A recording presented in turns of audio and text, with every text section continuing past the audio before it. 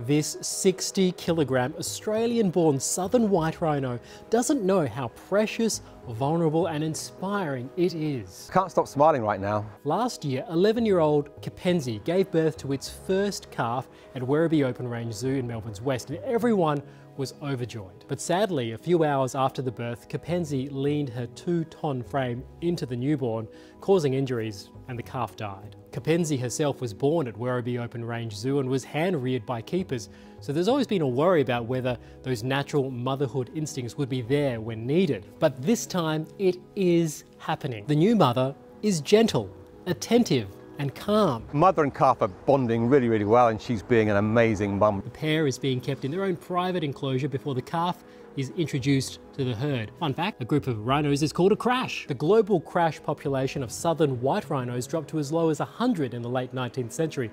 These days, there are about 10,000 in the wild in Africa, and the global population is about 17,000 thanks to conservation efforts and breeding programs like the one here in Australia. So this little calf is vital and its birth against the odds, but every day those odds get better. A couple of days old, only 60 kilograms, but already has got such an attitude. He's already kind of like, you know, snorting and stomping and trying to, you know, so yeah, he's going to be a real handful later on. The little calf is yet to be named and there's going to be a competition to find one.